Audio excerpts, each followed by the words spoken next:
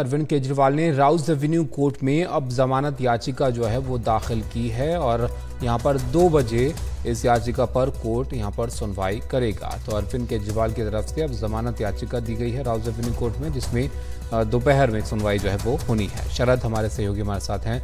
शरद, नियमित जमानत के लिए याचिका है?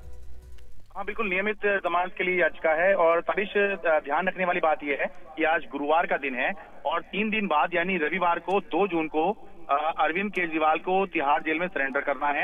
अरविंद केजरीवाल ने एक हफ़्ते की अंतरिम जमानत बढ़ाने की याचिका सुप्रीम कोर्ट में दी थी, जो कल अस्वीकार हो गई थी, खारिज कर दी गई थी और उसके बाद अब नियमित जमानत के लिए याचिका दायर की है।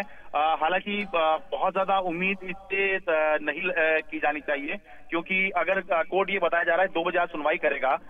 तो पहली बार में जब अगर सुनवाई होगी तो ज़्यादा ज़्यादा ये कहा जा सकता है कि ईडी को नोटिस होगा और ईडी को कहा जाएगा कि वो अपना पक्ष जो है अदालत के सामने इतनी तारीख को जितने भी दिन का समय दिया जाएगा वो सामने रखे और उसके बाद फिर इस पर सुनवाई होगी। तो ऐसे में समय अरविंद केजरीवाल के पास बहुत कम है।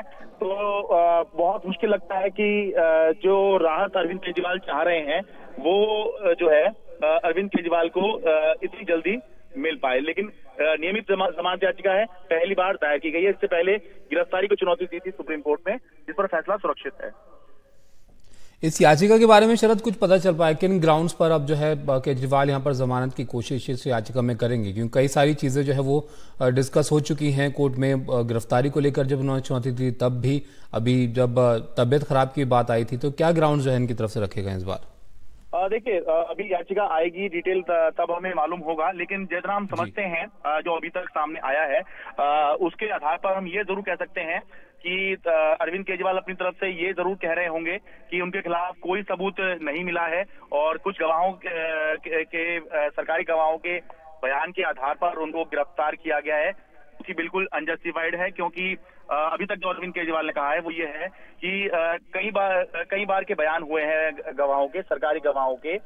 जब तक अरविंद केजरीवाल का नाम नहीं लिया गया था बयान होते रहे लेकिन बयान होते ही जैसे ही अरविंद केजरीवाल का नाम लिया गया बयान उसके बाद होने बंद हो गए। तो ये सब संभव है कि ये ग्राउंड जो है अरविंद केजरीवाल ने दिए हों। तो अब जब राहुल जवेनी कोर्ट में इस पर सुनवाई होगी तब और डिटेल निकल के आएगी कि किन ग्राउंड्स पर ये नियमित जमानत जो है तो ये नियमित जमानत की याचिका अरविंद केजरीवाल की तरफ़ से दी गई है जिस पर अब से थोड़ी देर में दोपहर में सुनवाई जो है वो होनी है।